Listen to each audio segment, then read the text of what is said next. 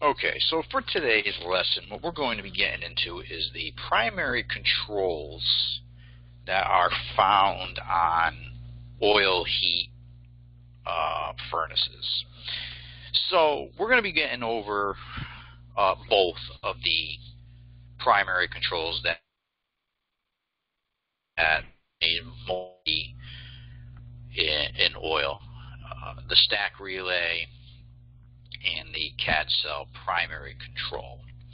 But we're going to start off with the the stack relay for um, this presentation. The stack relay really is some old technology. Uh, we're talking 70s uh, type technology, but the reason why I am still covering it or I'm going to talk about it is because, you know, believe it or not, there are some oil furnaces out there, boilers out there that actually will maybe possibly still have the stack relay on there as their primary control. Now, most mechanics out there today, if they do run into a stack relay, uh, they usually are going to take it out and they're just going to replace it with a CAD cell uh, primary control, only due to the fact that the primary CAD cell control is uh, a much safer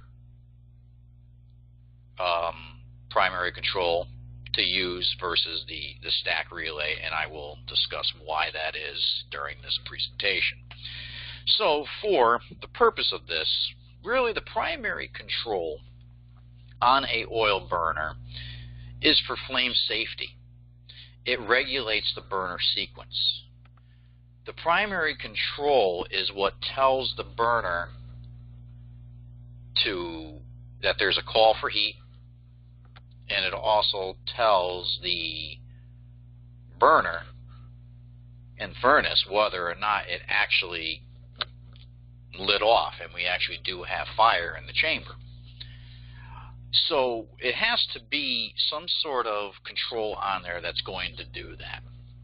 So with the flame safety features on it, it ensures that the flame is established within a reasonable length of time. With stack relays, it was usually around 90 seconds. That's a long period of time for the burner to finally realize whether or not it actually lit. Stack relays are mounted in the flue pipe.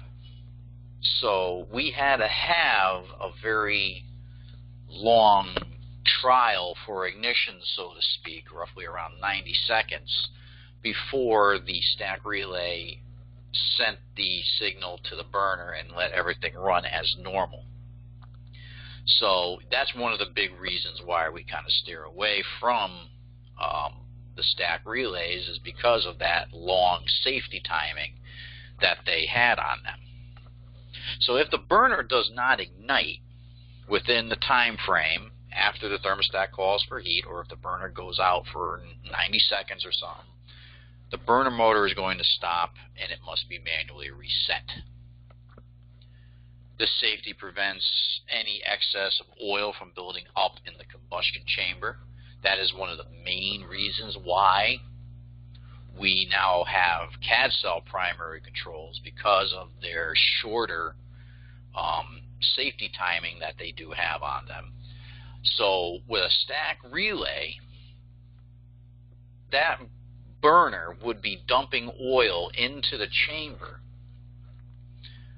for approximately 90 seconds if the oil didn't get ignited by the electrodes. That's a long time.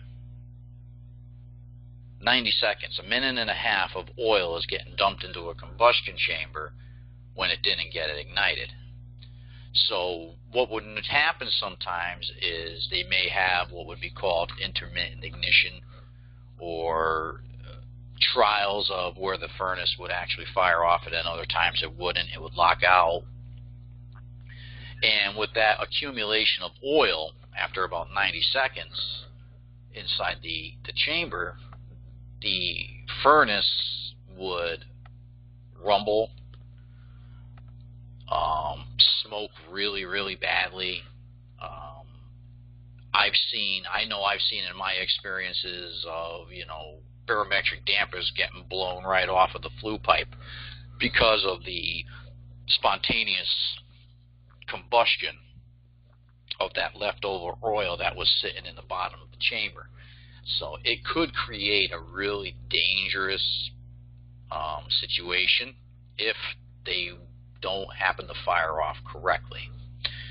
So we got two types again of flame safety controls that you're going to see. You're going to have your stack switch, or better known as the stack relay, and again, they are it's an older style type um, unit that was used. It's very rarely seen today, but you know, you, we you still got to kind of think about them, and if they are, chances are you're just going to replace it anyway because we just don't want them anymore.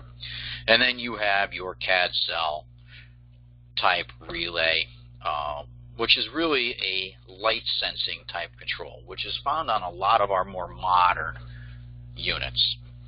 So there's the stack relay right there, or better known as the stack switch. This guy is going to get mounted right inside the flue pipe. And what it has on there is a bimetal uh, stack relay sensing element that is on there that's going to be mounted in the flue pipe. So as the flue pipe started to heat up, the bimetal that is inside, and there's your bimetal right here, you can kind of see it, it's right here. This bimetal would actually expand. And when that expand, it opened a, a set of contacts. Okay? Or, a, or it would open the set of contacts and close the um, hot contacts, telling the burner that it actually did ignite. If it didn't ignite, after about 90 seconds, it would lock out. So the wiring for these guys, it was relatively simple. Um, usually you would see a couple of terminals, one, two, three, four. This was all of your controls. So terminal one would be your your power coming in after you know your if you had a limit here or some sort of like that, like a maybe a high limit switch or something like that. Um, it would get powered into terminal number one. Terminal number two was your neutral. Terminal three went to your motor. Terminal four went to your ignition transformer. Okay, and just tied back to number two. Your thermostat, depending on what you were doing, whether it was an aquastat or uh, just a regular warm air thermostat, would get connected to your W and your B on the stack relay to your R and your W on your um, thermostat or for your aquastat, whatever one it would be. So if there was no ignition and uh, consequently no heat in the stack, the, the uh, safety switch heater remains in the circuit. So approximately after about 90 seconds of operating time, the safety switch heater would open the safety contacts, which would shut off your burner and all that stuff. To, the start, um, to start the cycle again, you must manually shut off the system, then depress the re reset button, and then allow it to try again. But now, those are really no longer really being around. So now we got our CAD cell relay. So that's what the CAD cell uh, primary control looks like. This one here is a Honeywell R8184G. These are going to be found on your modern oil burners. And again, like I said, if you do run into a stack relay, you're just going to rip that guy out, put a new piece of flue pipe in, and just rewire that burner for a primary control. It's a much safer type of uh, unit that we have here. So the main component of this is your CAD cell. Now look at the timing on this guy. Okay, lockout timing in this one is 45 seconds. That's that's better. Now, different models of primary controls have different safety timings on them. They range anywhere from about 15 seconds to about 45 seconds. So it gives the burner a few seconds to actually light off. So they are much safer to have on an oil burner. You're not going to waste as much oil.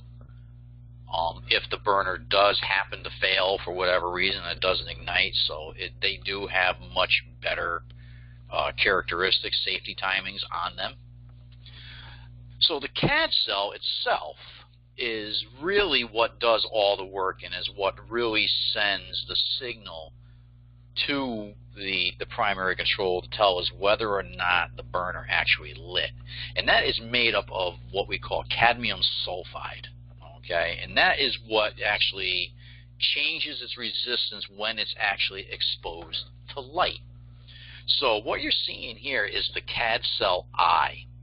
This guy here is actually going to be sitting inside the oil burner and it's going to be looking down the air tube on the oil burner. So when the oil actually does ignite, one of the byproducts of, of combustion is light. So the CAD cell eye will actually pick up that light. And when that happens, it changes its resistance. Okay? So that CAD cell, which is made up of cadmium sulfide, a ceramic disc, a conductive grid, and electrodes is what's doing all of the work. All of that stuff is actually encased inside a glass. The CAD cell has to be positioned correctly in the oil burner so that it can sense the light that is being produced by the flame. Okay, so if it's not really doing that, you're going to get a false reading. So the CAD cell is going to be sitting right back here or usually it's going to be mounted somewhere around here somewhere. But that CAD cell has to be having a good cleared line of sight all the way down the air tube to see the flame.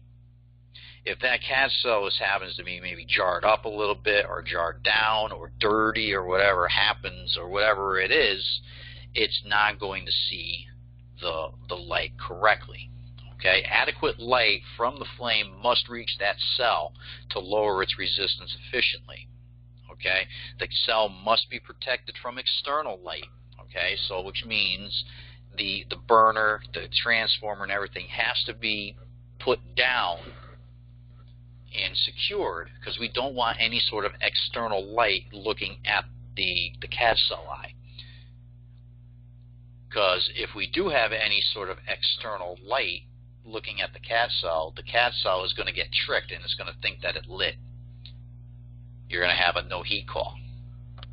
Okay, ambient temperature has to be under 140 degrees. Obviously, I think that's self-explanatory. 140 degrees, it's going to melt. It's not going to work very well for you.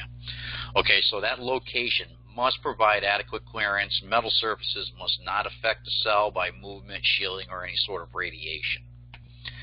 So when we're testing the CAD cell sensor itself, if we are taking an ohm reading across our two wires, and I want to go back a few slides here, you're going to see TT and FF. TT is where we're going to be connecting our thermostat wires. FF is for our CAD cell. FF, okay, flame.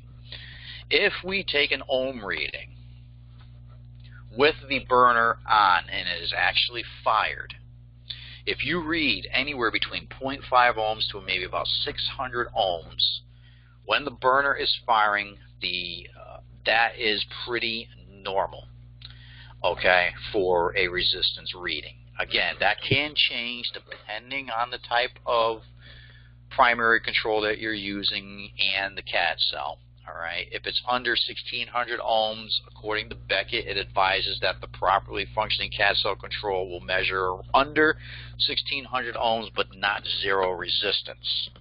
Above 1600 ohms, you're going to want to check for a sooty CAD cell sensor, a sensor that is misaligned and doesn't see the flame correctly, uh, or you have a bad oil burner flame itself. You may have to clean it uh, readjust the oil burner, do something to it. Um, if the flame and the alignment are good, then you're going to want to just simply replace the CAD cell. Um, if you have a very high ohm reading, preferably like infinity, um, chances are the CAD cell is just not seeing the light. It needs to be either cleaned, replaced, or you're just going to have to look into see why you're not getting the right reading. Now, with CAD cells, uh, primary controls like this, they have come out with some automated LED readouts for some of your uh, primary controls. Like for example, the Honeywell CAD cell R7184 um, CAD cell control. It usually has a, comes with an LED flash um, if it flashes 1, it's reading 0 to 400 ohms. 2, it's reading the 4 to 800 ohms. 3 flashes, it's 8 to 1600 ohms. Or 4, it's actually greater than 1600 ohms. Other Beckett controls, like the Beckett GeniSys 7575, has a status light decoding table. Um, if it's red, it means that the CAD cell has actually locked out if it's flashing red, it means it's in a soft lockout. Um, if it's on green, that means it's normal operation, or it could be uh, could be straight light during standby. You may want to look into the gaskets to make sure that the burner is actually sealed and no external light is um, making its way into the burner. If it's flashing green, it means it's in a recycle mode. If it's flashing yellow, uh, the control is in pump prime mode or the reset button currently held for 15 plus seconds. That's what it usually would mean if you're dealing with that type of primary control. Um, for the flame detection ranges, anywhere between 0 and 1600 ohms is considered normal for this particular type of model. Um, if it, limited means it's 1600 ohms to lockout. Uh, defective control or dirty or misaligned sensor, it's going to be greater than 1600 ohms. And if you read infinity, it usually means you have an open circuit or broken wire or maybe possibly a loose connection.